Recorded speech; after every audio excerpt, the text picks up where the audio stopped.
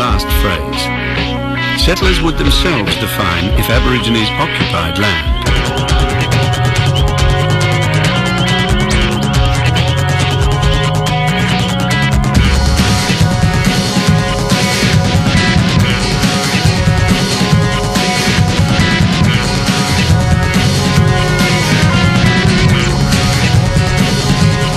To be the interpretation of the word occupy is the question.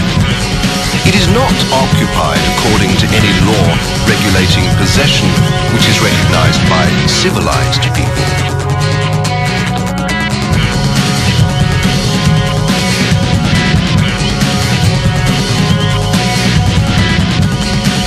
I had collected all my worn-out children's clothes and dressed the black children in them.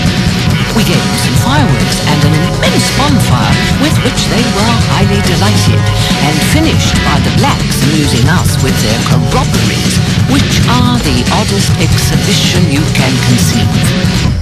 The interpreter told us they were describing the first ship that arrived in Holdfast Bay and the landing of good white men and the good biscuits they got in Adelaide.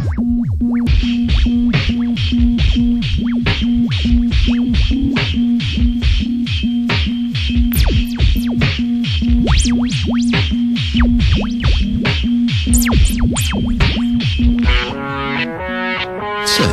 I have this evening perused an account of the progress of an Aboriginal mission, and I certainly conceive it to be one of the most glaring and oppressive outrages on the public